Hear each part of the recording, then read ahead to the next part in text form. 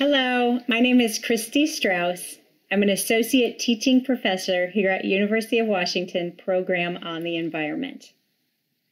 This video is about how to create effective teaching videos from home. I will talk about length, tools, script, uh, and audio and video quality. Okay, length. You do not want to replace your 50 minute in person class with a 50 minute video. Trust me. Instead, think about the big ideas in the lecture that you're putting online and then break your lecture into that many chunks. Typically, I break a 50 minute lecture into two to four video chunks. Each of these chunks details one aspect of my lecture for that day. And importantly, even after chunking, my video time does not add up to 50 minutes. When teaching in person, I spend a lot of time in conversation with my students and having them be in conversation with each other, even in a 250 person class, right? Students are doing think, pair, share. I'm asking and answering questions. They're writing on a prompt. So, a 50 minute in person lecture for me usually breaks down to less than 30 minutes of video content. When you are chunking content, you want each chunk to be 4 to 12 minutes long, with that sweet spot is 6 to 9 minutes. Next is tools. Zoom was designed for and is awesome in online meetings and synchronous class sessions, where Zoom tools allow interactivity and student engagement. Ideally, you should record and save these synchronous sessions and make them available for students who are unable to attend.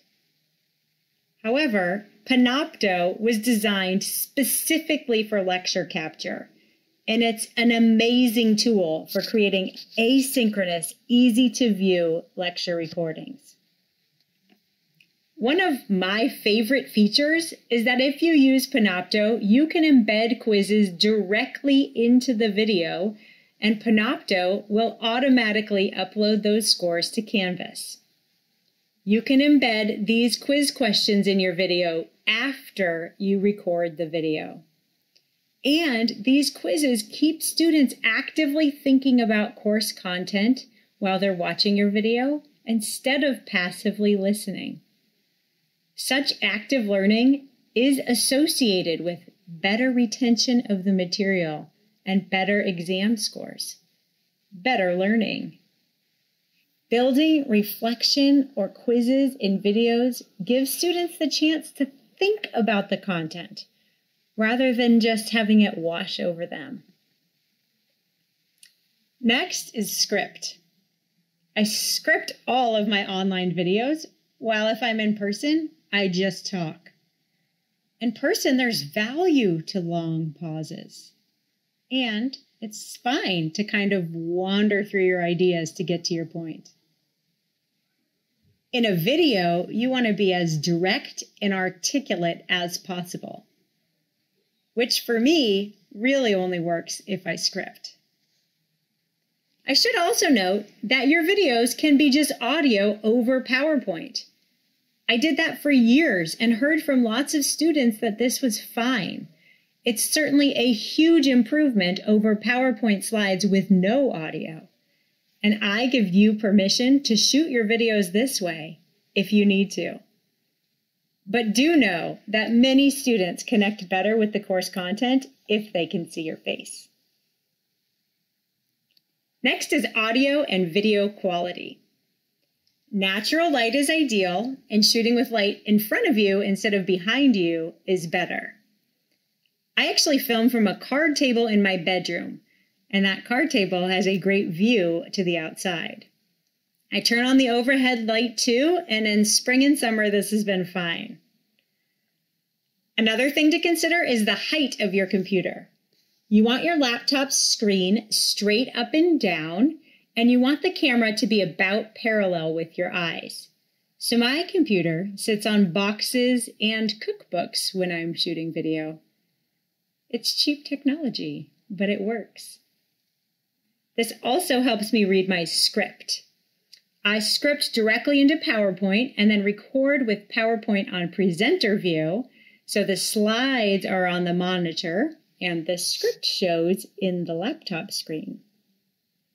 If I'm shooting video without PowerPoint like I am now, I have my script in a Word document and I shrink it so that I can't look down. I just have to keep scrolling down. I can only see about a paragraph at a time. Audio quality can be summed up in one sentence. Use a headset microphone. I have these noise canceling ones that are vital for me because my children are sometimes laughing or crying right outside my door when I'm shooting video, and I don't want my students to hear that. But even the headphones or earbuds that come with your phone are so much better than using the microphone built into a laptop. Next is where to shoot.